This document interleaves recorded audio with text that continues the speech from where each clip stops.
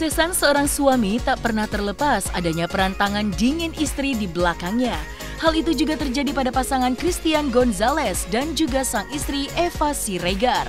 Hal ini diutarakan oleh istri Christian Gonzalez di mana dirinya selalu memiliki ritual khusus ketika sang suami akan menjalani pertandingan sepak bola. Salah satunya adalah mempersiapkan makanan khusus yang dibuat oleh Eva Siregar untuk dikonsumsi oleh sang suami tercinta. Lalu makanan apa sajakah yang dibuat oleh Eva Siregar untuk Christian Gonzalez sesaat sebelum menjalani pertandingan sepak bola? Jadi ada ritual khusus, ada menu khusus untuk abang gitu. Aku sih sebetulnya abang kan nggak pernah makanan Indonesia yang seperti bakso lemak atau roti-roti atau cake-cake yang begitu. Kalau cake, dia sih makannya setiap tahun kalau ulang tahun aja gitu. Alhamdulillah sampai detik ini aku bisa menjadi koki yang terbaik. jadi dia harus makanan yang benar-benar dia suka jadi barbecue. Jadi aku tiap hari harus makan masak barbecue atau pasta. Pasta pun aku bener-bener yang nggak pakai garam banget garamnya tuh hanya garam yang spesial gitu. Jadi abang kalau makanan uapnya nggak ada makanan yang penting makan roti gandum aja gitu. Tapi sebelum sebelum pertandingan eh, kita mengadakan ini udah rutin ya udah 18 tahun. Kita mengajarkan pengajian dan pengajian itu hanya ada makanan Indonesia satu yang dia bisa makan itu aja. Tapi untuk syarat aja.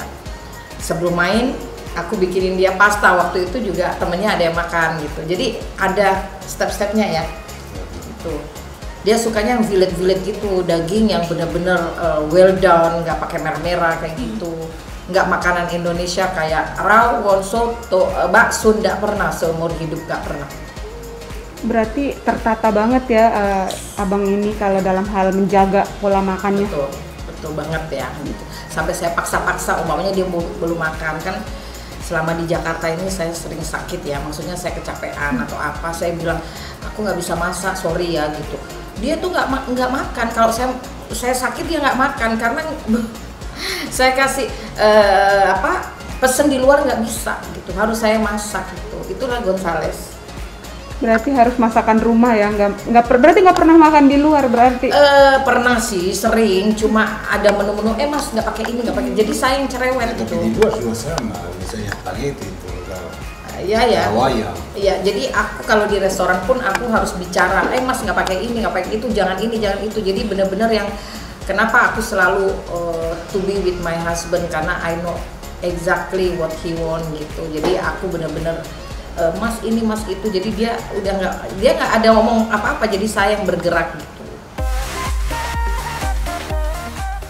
Selain menyiapkan makanan spesial untuk Christian Gonzalez, Eva Siregar pun mengatakan bahwa hal yang selalu dilakukan jika sang suami akan bertanding adalah dengan khusus beribadah.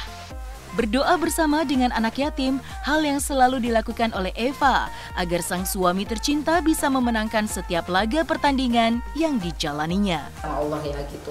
Tiga hari sebelum pertandingan, saya khusyuk terus nih. Nggak ada lubangnya sama sekali untuk ibadah gitu. Termasuk abang.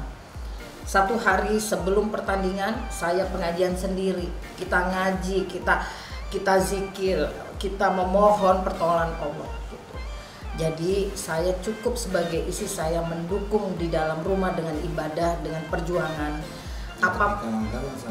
Sama Sun, sama Nah, saya juga sering anak-anak yatim zoom bersama-sama. Ada video, ada foto semua, tapi untuk saya saya nggak publikasikan. Jadi biarkan antara Allah dan saya dan adik-adik yatim. Terima kasih eh, Pondok Umar bin Khattab dari Yogyakarta yang selalu support abang. Alhamdulillah adik-adik juga sangat mengidolakan Bang Gonzales.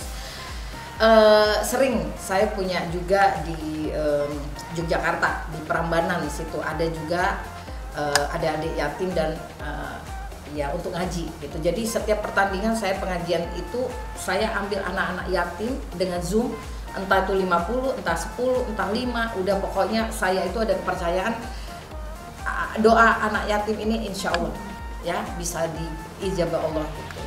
Tapi dua kali pertandingan kemarin saya mencoba ya, mencoba apakah saya bisa gitu akhirnya dengan imam saya dan saya diijabah Allah kita menang dua kali. Berarti kan Allah mau saya berjuang terus dengan doa saya ibadah saya gitu mbak. Jadi saya juga bikin eh, tumpeng sendiri kita makan sendiri dengan pisang raja biar dia jadi raja. Jadi tradisinya mama mama saya kan dari Semarang papa saya dari Su- Sumatera. Jadi kita banget tipikal saya orang Sumatera tapi ini kadang kejawa-jawaan gitu loh ya. Jadi ada pisang raja biar jadi raja mie goreng biar panjang umur. Meskipun itu cuma ya eh, pelampiasan se- apa ya tradisi aja gitu tapi Dan menurut penuturan dari istri Christian Gonzalez, ada suatu tradisi yang hingga kini selalu dipakai oleh Christian Gonzalez setiap melakoni pertandingan sepak bola, yaitu gelang berwarna merah. Istri Christian Gonzalez pun menyebut bahwa gelang yang dipakai oleh sang suami menjadi penyemangat untuk bertanding dengan penuh semangat dan pantang menyerah. Selain menjadi bertambah semangat, diyakini juga oleh keduanya bahwa gelang merah yang dipakai oleh Christian Gonzalez sebagai penolak bala. Nah ini saya pakai dari dulu ya, ini tradisi saya di Amerika Latin. Dari sana. Jadi jelas itu saya tahu. Mungkin bisa jelasin dikit Mbak, mungkin ada filosofinya nggak sih? inilah istri ya juru bicara Juru lagi. bicara Jadi lagi. eh, gelang merah ini saya yakin banyak sekali orang-orang Latin juga di sana di eh, Suramerika. Eh, saya sih di sana udah tahu ya karena aku beberapa tahun juga tinggal di sana. Eh, ini sih tradisi orang Amerika Latin spesial dari keluarga dia. Jadi eh, Eloko ini kental banget dengan tradisi macem-macem gitu. Eh, dulunya dia sebelum datang ke Indonesia kan yang pakein mamanya untuk eh, good luck lah gitu kata bahasa Inggrisnya luck gitu.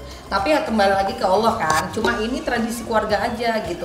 Dia ada dalam hati merah ini kayak di Indonesia tuh pemberani gitu. Dan eh, apa? tolak balak kalau kalau di Amerika Latin tolak balak lah untuk keluarga dia ya. Aku nggak tahu Amerika Latin ada kepercayaan masing-masing sih gitu. Tapi untuk dia sih insya Allah tolak balak gitu. Dan sekarang kalau mamanya nggak ada jadi aku yang harus melingkarkan. Oh, berarti ada kayak sebelum bertanya atau ya saya gitu? saya ada doa-doa khusus juga. Ya nggak doa apa lah ya pasti al-fatihah ayat kursi eh, kulhu ya al ikhlas kayak gitu-gitu insya Allah gitu. Bukan dari sini tapi dari sana. Tapi dengan tradisi dia lah saya. Dia pasangan istri ini nggak mau harus saya. Ya kan? Nggak pernah orang lain selain aku atau mamanya.